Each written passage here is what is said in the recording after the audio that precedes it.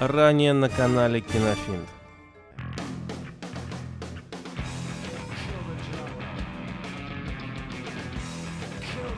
Я сегодня в форме молчаливый бог. Мы достанем бабки.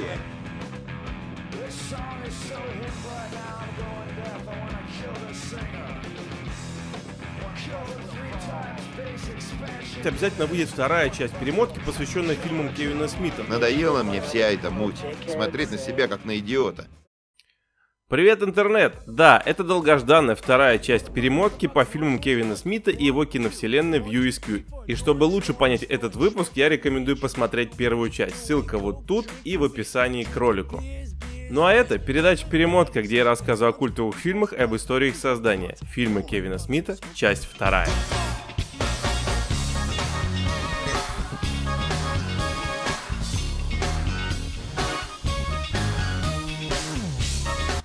Прошлый раз речь шла о первых трех фильмах Смита «Клерки», «Тусовщики супермаркета» и «В погоне за Эми». Несмотря на то, что его первые три фильма в основном понравились публике, все же они оставались весьма нишевыми лентами, так сказать, легендарными в узких кругах. И это можно объяснить тем, что Смит снимал фильмы в основном про себя и своих друзей, о проблемах обычных молодых людей. Однако четвертый фильм Кевина стал картиной вселенского размаха, об ангелах, пророках, боге. Да, это была Догма. но чтобы рассказать, как создавалось это кино, нужно вернуться на много лет назад. Как я уже рассказывал, в школьные годы молодой Кевин был вполне обычным пареньком, увлекался хоккеем, комиксами, фильмами, но среди его увлечений было редкое и нетипичное хобби. Он интересовался христианством.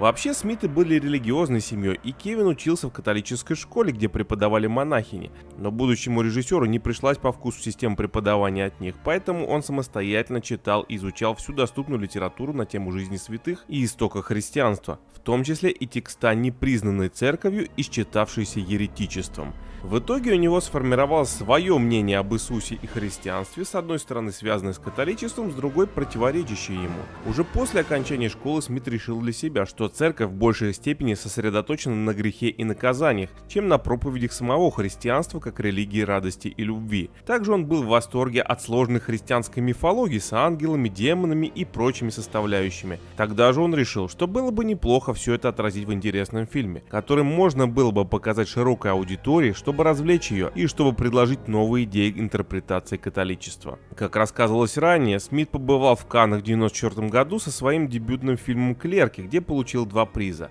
Однако главным событием для Смита в Каннах стала премьера криминальной чтива Квентина Тарантино. Фильм настолько поразил Смита, что тот вдохновился им и написал первую версию сценария «Догмы». У Тарантино он позаимствовал смелость смешивать трагичное, комичное и безумное. В той версии сценария действовали ангелы, демоны и другие сверхъестественные существа, и ключевые вопросы бытия обсуждались в типичной для Смита юморной манере. Само название «Догма» родилось уже тогда, поскольку оно было иронией над всеми догматами, как ему казалось уже устаревшими.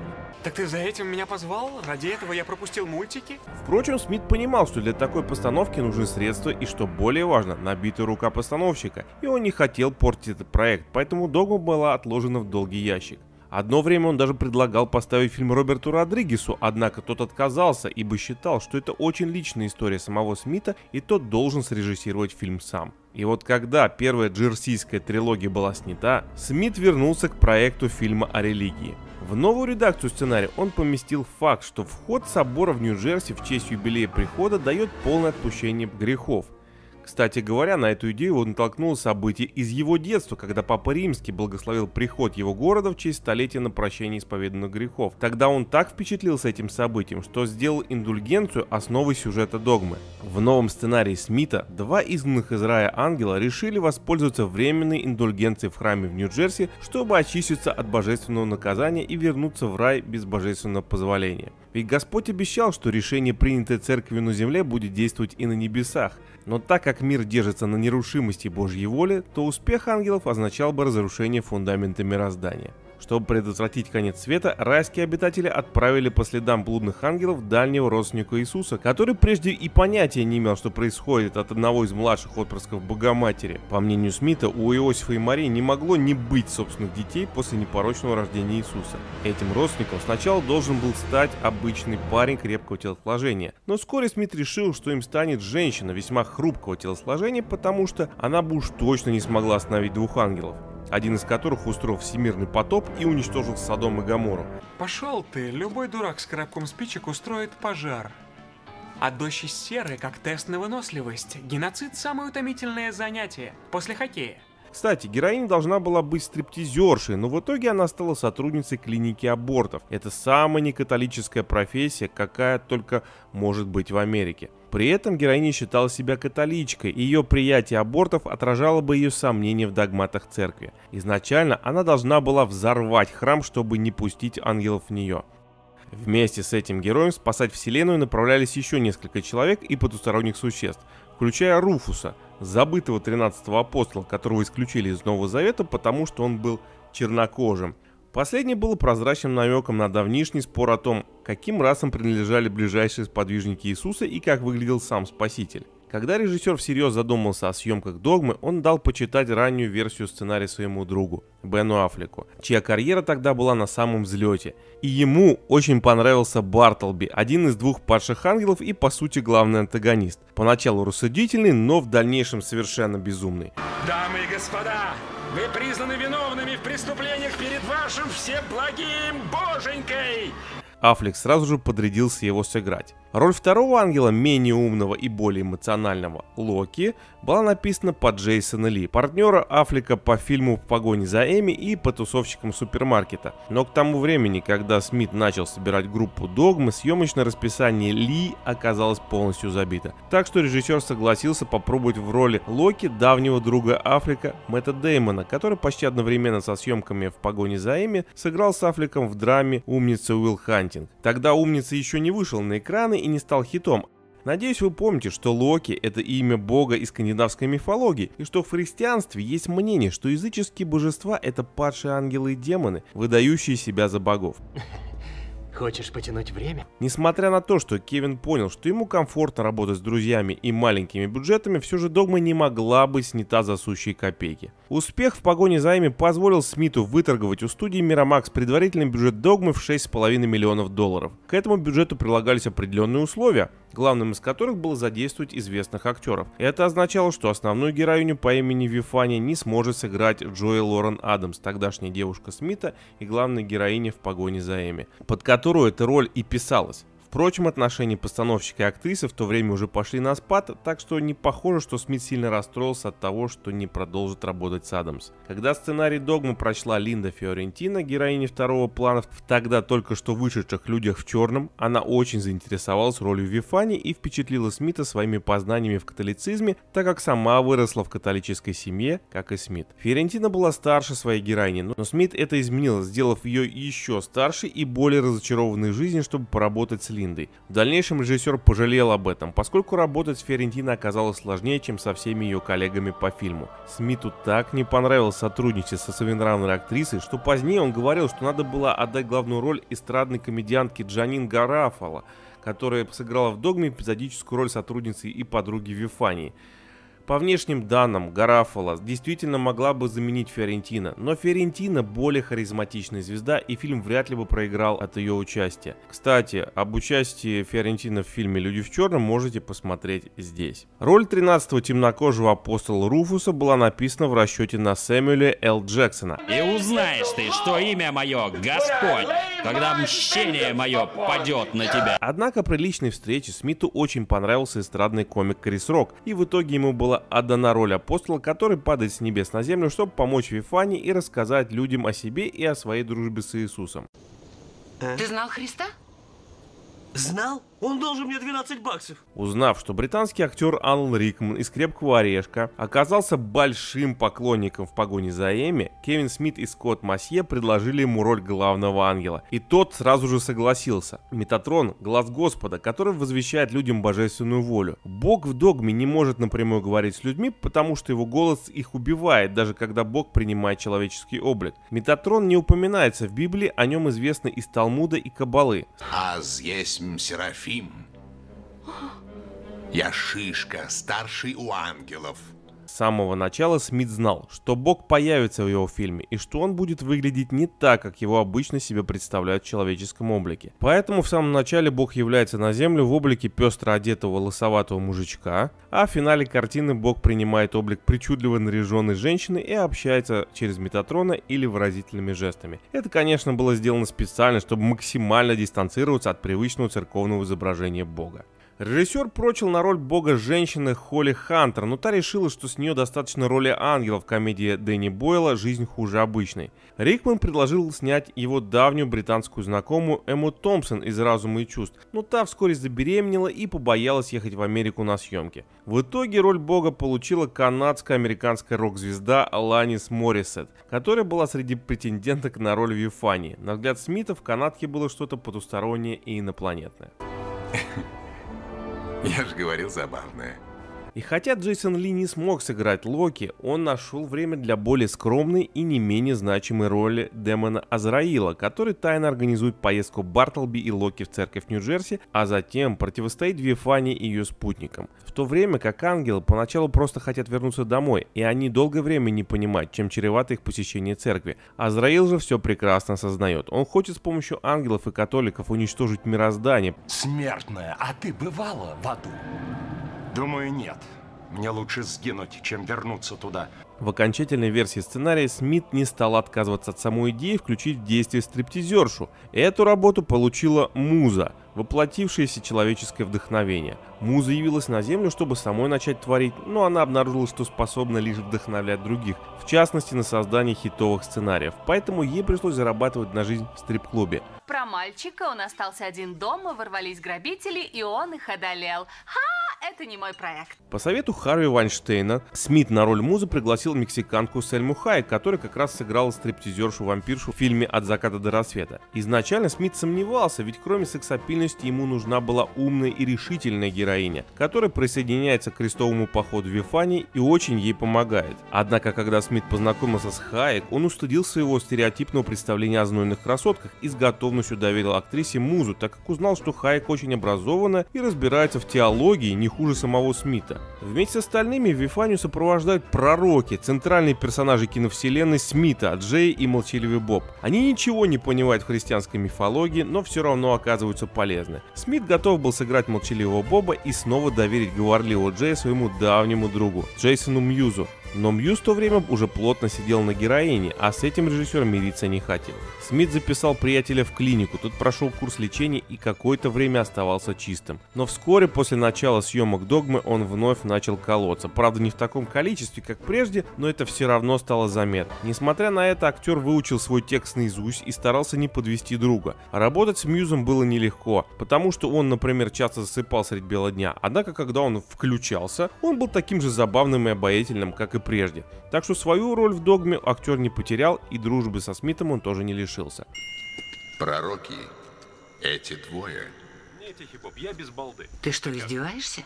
Одним из источников комического вдохновения для Смита был ветеран эстрадной комедии Джордж Карлин, поэтому режиссер был очень рад, когда Карлин согласился сыграть кардинала Глика, который организует индульгенцию в Нью-Джерси, чтобы привлечь в храм новых верующих. При всей любви к католицизму Смит не испытывает особой привязанности к церковным иерархам, и Глик изображен как циничный и самовлюбленный осел. Приглашение Карлина на эту роль довершало унижение персонажа, так как сам Карлин в своих выступлениях остро шутил про религию и открыто признавался в атеизме. При этом Карен происходил из католической семьи, и в христианстве он отлично разбирался. Не забыл Смит и про своих друзей Брайана О'Хиллорана и Джеффа Андерсона, которые также сыграли в фильме. О'Хиллоран сыграл телеведущего Гранта Хикса, это постоянная фамилия его персонажа во вселенной Смита, а Андерсон исполнил уже привычную роль продавца, только уже в оружейном магазине. Также в некоторых эпизодах можно увидеть старых друзей Смита, которых он всеми правдами и неправдами протащил в свой новый фильм. Вместе с известными актерами Мирамак заставила Смита нанять нового оператора-постановщика. Над своими первыми тремя картинами режиссер работал с Дэйвом Клайном, с которым познакомился еще в киношколе, и работа Клайна вызвали претензии профессионалов. Так что для создания «Догмы» был приглашен более опытный и талантливый Роберт Йоман, постоянный сотрудник артхаусного режиссера Уэса Андерсона. Йоман показал Смиту, как можно снимать интереснее, разнообразнее и кинематографичнее, чем это делал Кляйн. По словам Смита, он благодаря Йомину сделал большой профессиональный шаг вперед.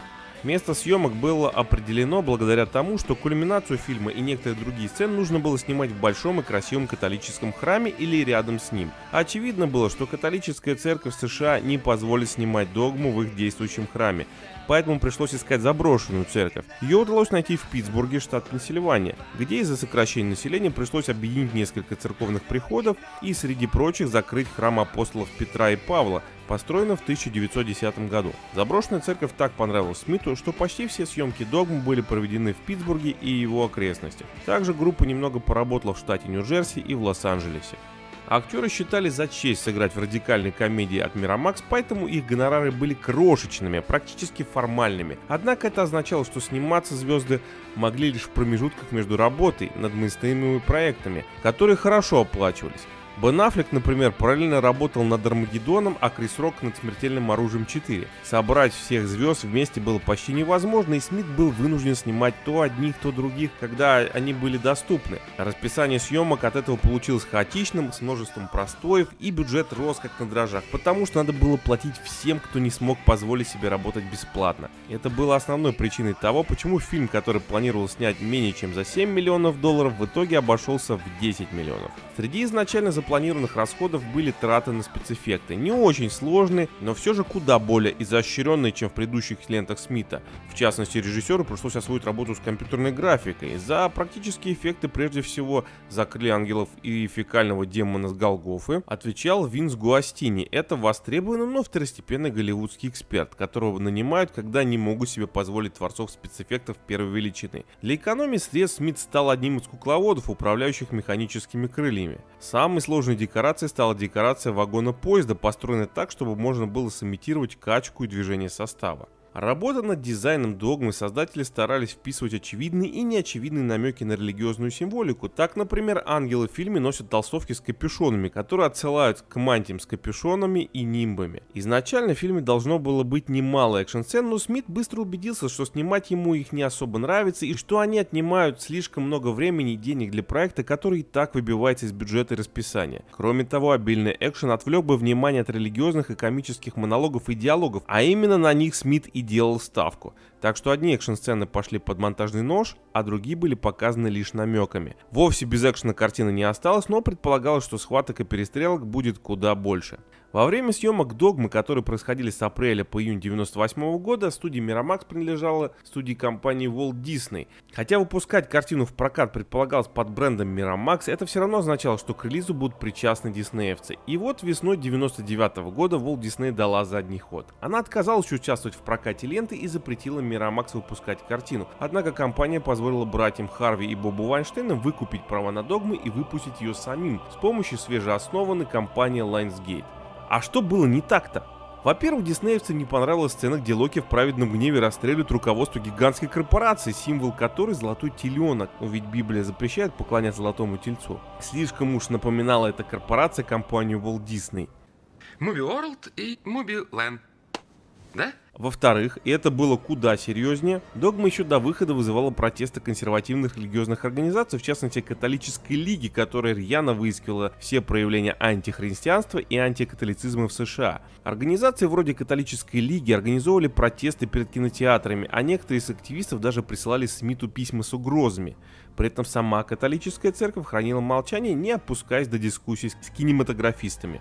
Компания Walt Disney почла за лучшее не дразнить гусей, а Lionsgate протестов не испугалась. Традиционалисты ничего не смогли поделать со свободой слова и проката, и «Догма» вышла в Америке 12 ноября 1999 года, заработав 31 миллион долларов при бюджете в 10 миллионов долларов. Фильм почти втрое обошел по сборам предыдущую ленту Смита «В погоне за Эми», что было очевидным подвижением вперед и победой для свободомыслящего Голливуда. Критики приняли ленту благоприятно, хоть и не без упреков, а зрители сделали «Догму» культовым хитом. Им «Догма» остается и сейчас. Это не самый смешной фильм в истории Голливуда, и критики были правы, когда в 1999 году отмечали неровность постановки но это определенно занятнейшее провокационное кино, которое особенно интересно смотреть зрителям, которые, как и Смит, интересуются вопросами веры и не придерживаются церковной догмы. Хотя в первую очередь догма это комедия, и пересматривать ее стоит и тем, кто просто хочет посмеяться над неожиданными и нелепыми шутками и гэгами, которых в фильме в достатке. Некоторые считают, что это самый глубокий фильм Смита до сих пор, если не самый лучший. Безбилетник. Что касается меня, то я посмотрел «Догму» примерно в 2002, может быть, в 2003 году на кассете с этим самым дубляжом. И тогда на меня, конечно, произвел впечатление этот фильм. Я ничего не знал о Джее Молчаливом Бобе, но, вы знаете, мне показалось, что фильм, который заставляет сомневаться, в общем-то, ну, в догматических каких-то понятиях христианства, это крутое кино. И, в общем-то, наверное, с него началось э, мое такое понимание того, что сомневаться можно во всем. А следующий фильм Кевина Смита стал следующим и для меня, как я знакомился с этими фильмами. И это был фильм, где Джей Молчаливый Боб исполнили главную роль. Кевин Смит совершенно не хотел снимать сольный фильм о Джее и Бобе, потому что вполне резонно считал, что слишком мелковаты эти персонажи для отдельного фильма. Джей и молчаливый Боб в кино. Кто пойдет на эту срань? Однако после того, как их мимолетное гостевое появление в хорроре «Крик 3» было встречено публикой на ура, Кевин передумал и занялся разработкой ответного удара. Джей и молчаливый Боб наносят ответный удар. И поскольку Смит после «Догмы» стал уже не просто режиссером для своих, а был признан как талантливый постановщик по всему миру, он не хотел, во-первых, ударить в грязь лицом, во-вторых, поместив в центр сюжета маскота в своей киновселенной, он решил, что это будет финал. Финал всей его джерсийской истории. Именно поэтому в фильм попали персонажи и актеры изо всех фильмов Смита. Ведь изначально задуманные как Кривое Зеркало главные персонажи его фильмов, второстепенный Джей и Молчаливый Боб, были весьма схематичными персонажами, раскрыть которых в сольном фильме было весьма сложной задачей, что в общем-то и не сильно получилось в итоге. Как же твою мать стыдно. Дорогой, еще бы.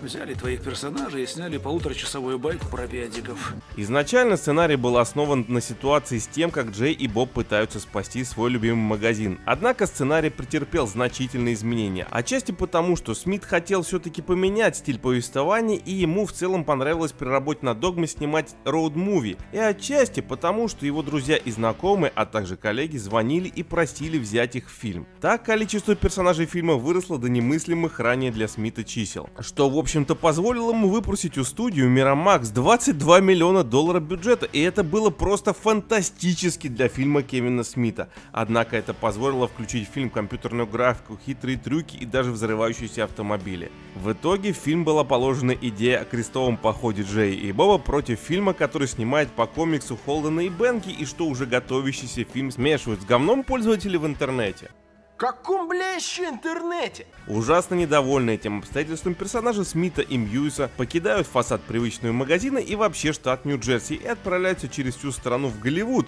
чтобы накостылять ненавистной студии Miramax. Да, тут создатели решили постебать сами себя и чтобы никому не было обидно, отыгрались на Голливуде в лице студии, на которой были сняты почти все фильмы Смита. Сраный Миромакс. Кстати, была еще одна причина, чтобы попрощаться с киновселенной в USQ. Кевин стал мужем и даже отцом, и поэтому он воплотил в этом фильме все, что мог себе позволить относительно этой вселенной. Кстати, в фильме снялась его жена и даже дочь, она сыграла маленького молчаливого Боба в открывающейся сцене. Также интересно, что на роль Хроника в вымышленном фильме изначально хотели взять Сета Грина, потому что на одной из стадий разработок студийные боссы хотели заменить Джейсона Мьюиза в тусовщика супермаркета как раз на Сета Грина, но в итоге роль досталась Джеймсу Вандербику. Большой фанат Звездных войн, Кевин Смит не только умудрился запихнуть в фильм кучу отсылок к саге, но и впервые за долгое время снять в одном фильме Марка Хэмилла и Кэрри Фишер, о чем те узнали только на примере. К слову сказать, Марк Хэмилл еще и озвучил Скуби-Ду в этом фильме. Я думаю, Джордж Лукас обосрется. И, конечно же, самое большое количество отсылок и упоминаний происходит уже во время действия в Голливуде. Так, спасаясь от охранников, Джей и Боб пробегает мимо площадки, где снимается «Сорви голова». А руководит съемками Марк Стивен Джонсон, который впоследствии и поставил этот фильм. А на съемках «Вымышленного крика 4» героиня Шеннон Доерти выражает крайнее удивление, что под маской маньяка скрывается орангутанг. На съемках трилогии Крик Уэс Крэвен никогда не говорил актерам, кто является настоящим убийцей. В одной из сцен на заднем плане можно заметить несколько мужчин в черных костюмах и одного в полицейской униформе. Это аллюзия на бешеных псов. А когда Джей и молчаливый Боб прыгают на велосипеде и оказываются на фоне Луны, это отсылка к фильму «Инопланетянин». Ненавижу эту голливудскую фальшь. На малозаметную, но важную роль шерифа Кевин позвал Джада Нельсона, так как был поклонником фильма «Клуба завтрак». Изначально роль Джестис хотели отдать Хизер Грэм, но, но та отказалась, так как, по ее словам, она не могла понять, почему ее героиня влюбилась в недалекого и вечно матерящегося Джея. И роль досталась Шеннон Элизабет, которая должна была сыграть другую небольшую роль, но ее пробы так понравились Кевину Смиту, что он предложил ей роль Джестис. Поскольку Бен Аффлек уже вернулся к роли Холдена, одного из авторов оригинальных комиксов про пыхаря Хроника, то в роли актера Бена Аффлека и его партнера Мэтта Дэймона на съемках вымышленного сиквела «Умницы Уилла Хантинга» должны были сыграть другие актеры. Среди возможных кандидатов значились Винс Вон, Джон Фавро, Шон Уайнс и Марлон Уайнс, и в конце концов Кевин пригласил на роли Аффлека и Дэймона Бена Аффлека и Мэтта Дэймона.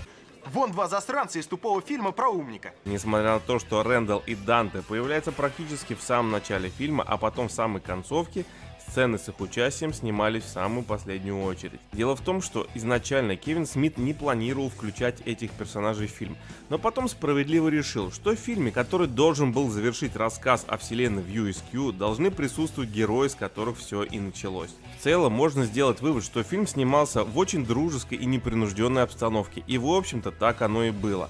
Актеры приходили, уходили, сменяли друг друга, все смеялись. Однако главной головной болью было участие в съемках Джейсона Мьюиса. Как говорилось ранее, он был жестким героиновым наркоманом и алкоголиком. К тому же примерно в то время его осудили условно за хранение наркотиков и у него умерла мать. Съемки сцен с его участием и раньше в других фильмах Смита проходили нелегко, но их было не так много, все-таки Джей не главный персонаж. Плюс Смит все-таки не смог бросить друга и поддерживал его как мог. Однако на съемках ответного удара было несколько инцидентов. Когда Смит подвозил друга на съемочную площадку, он внезапно осознал, что тот находится в крайне неадекватном состоянии, и со злости просто выкинул Джейсона Мьюса из автомобиля. Другой раз дошло до драки с продюсером фильма Скоттом Массия. По окончании съемок Смит высказал Мьюсу все, что об этом думает, и пригрозил прекратить с ним общаться, если тот не завяжет. Надо сказать, что угроза действительно подействовала, так как у Джейсона почти не было друзей, а умершая мать была его последним живым родственником. И я типа, ты что, не знаешь твою мать Джей, молчаливого Боба, твою мать мачо жеребцов сраного Джерси?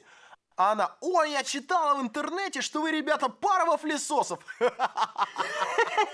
Фильм не стал каким-то мега-хитом, но был признан удавшимся проектом. Ответный удар стоил 22 миллиона долларов, а в прокате собрал почти 34. Тогда еще живой главный кинокритик Америки Роджер Эберт поставил ему 3 балла из 4, то есть хорошо, и написал следующее. Понравится ли вам Джей и Молчаливый Боб или нет, зависит исключительно от вас. Фильмы Кевина Смита сделаны или точно для вас, или точно не для вас. Что касается России, то тут надо сказать, что огромный плюс картине добавил дубляж с матерком и переводом Павла Санаева.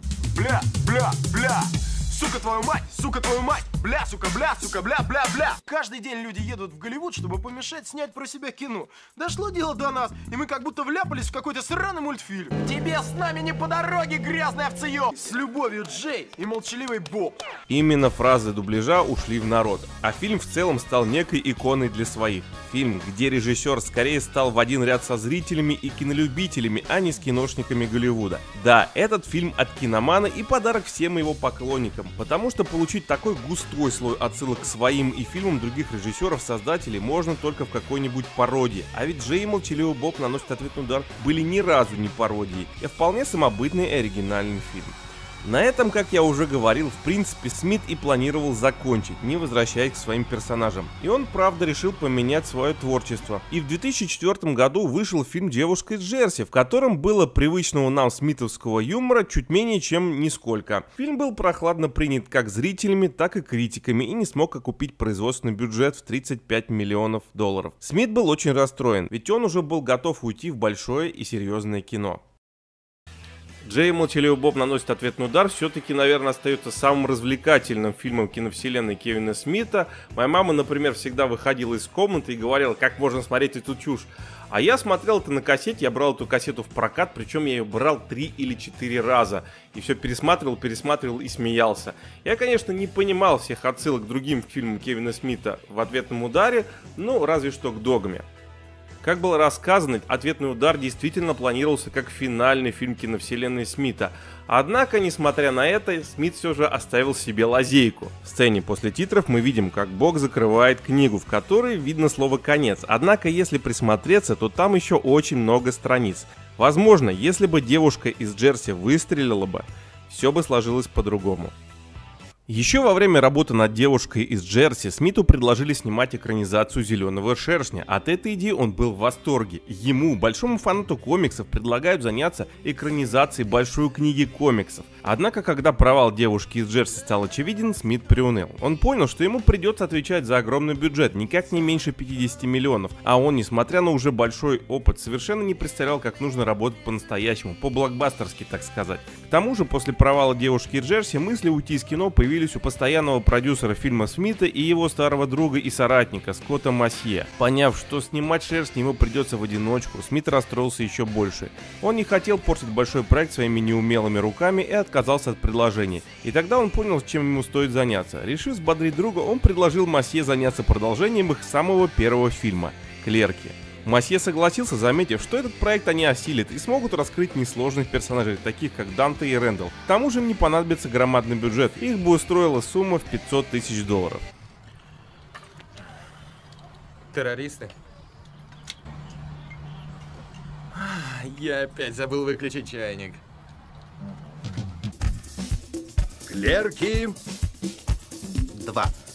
Осталось убедить ведущих актеров. И если с Брайаном О'Хиллераном проблем не возникло, то с Джеффом Андерсоном получилось не сразу. Он очень устал от роли Рэндалла, особенно с учетом того, что не так давно прошли работы по подготовке десятилетнего юбилейного издания «Клерков». И Андерсон, несмотря на то, что дружил со Смитом со школы, отказался от роли. А еще кто-нибудь из нашего класса здесь пашет? Впрочем, ему было интересно почитать сценарий, за что и ухватился Смит.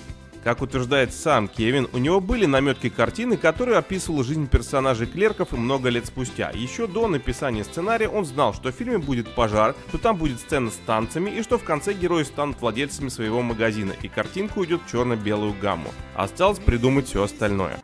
Ты точно этого хочешь? Точно. Вот теперь мне полегчает.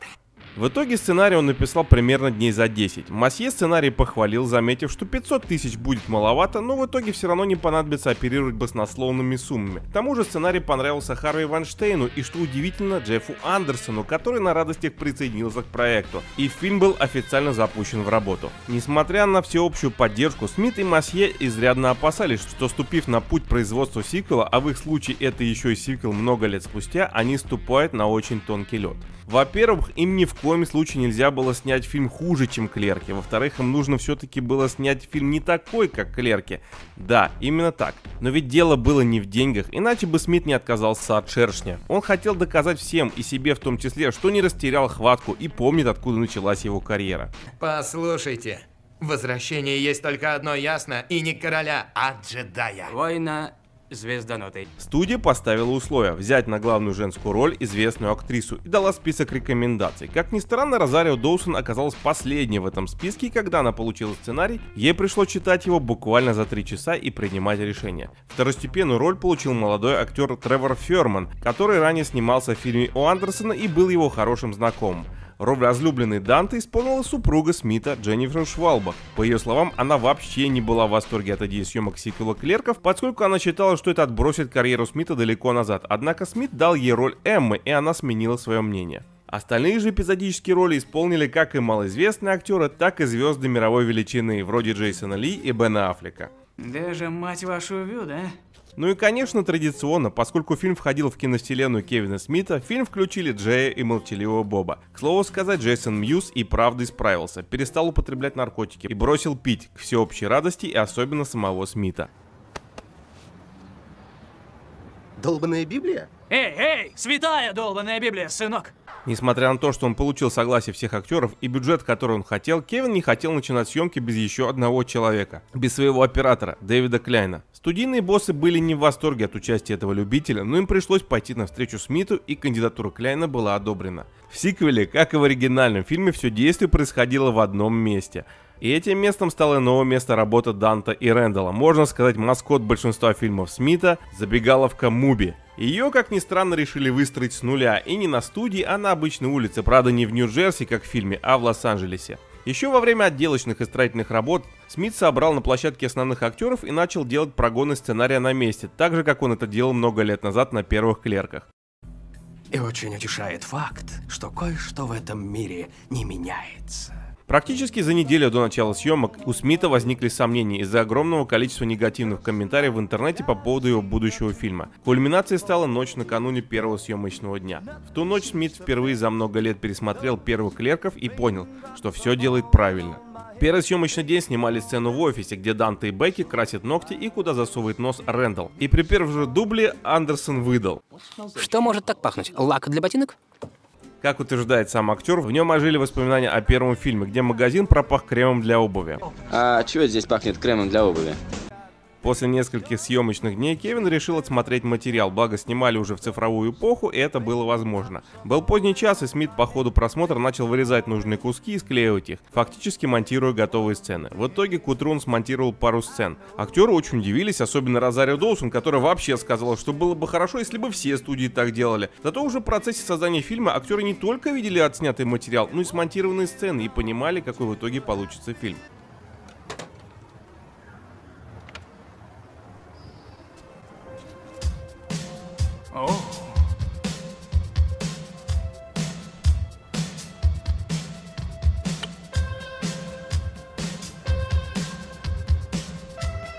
После 26 съемочных дней в Лос-Анджелесе группа вылетела в Нью-Джерси, чтобы снять сцены в магазинчике. По иронии, именно там и начинался и заканчивался фильм. По случаю Кевин попросил свою маму вернуться к роли женщины, которая никак не выберет нужную бутылку молока, так как это было в самом первом фильме. После окончания съемок Смит окончил монтаж всего за две недели, так как уже успел много смонтировать во время съемок. И первыми зрителями оказались его друзья и большие любители фильмов Квентин Тарантино и Роберт Родригес. В итоге эти двое смеялись, задумывались, но остались в восторге от фильма. Однако несколько советов по перемонтажу они все же дали. В итоге фильм выставили вне конкурсной программы на Каннском кинофестивале, и так что он не попал ни на постеры, ни на афиши, ни в печатные материалы фестиваля. И Смит до конца не верил, что фильм покажут в Каннах, и даже хотел уехать домой. Однако премьера все же состоялась, и по окончании зрители искупали создателей в 8-минутной овации аплодисментов. Оказалось, что именно этот фильм пронзил сердца всех поклонников Кевина Смита, особенно фанатов первой части «Клерков». Фильм оказался гораздо добрее, чем первая часть. Она получила скорее о последнем этапе взросления, когда вчерашние мальчики на побегушках наконец-то берут свою жизнь в свои руки и больше не боятся принимать решения, которые меняют их жизнь. В этот раз Смит попрощался со своей киновселенной по-настоящему. Можно сказать, он прошел полный круг и закончил ровно там, где и планировал в прошлый раз, когда включил персонажей Клерка в ответный удар. Только в этот раз все же переместил фокус зрителя с Джей и Боба, сделав их снова второстепенными персонажами.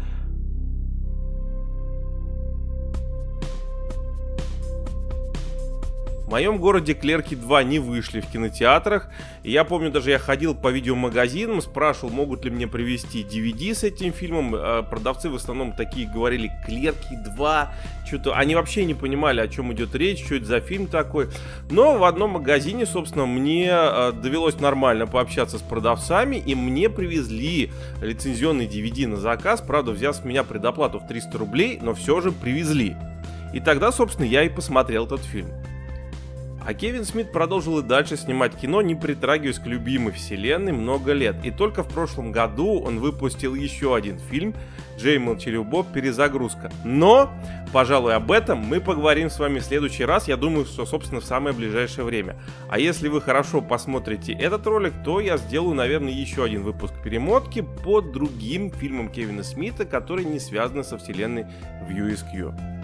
Огромное вам спасибо, что досмотрели до конца. Да, я знаю, вы очень долго ждали этого выпуска, но, собственно, я тоже ждал, пока мы наберем 300 лайков. Я не думал, что это все-таки займет столько времени. Однако, мы это сделали. Делитесь этим видео с друзьями, репостите его к себе на странице. Будет очень жаль, если его посмотрит очень мало зрителей. А с вами был я, Илья Финт. Ну, чего вы ждете? Снучи-бучи!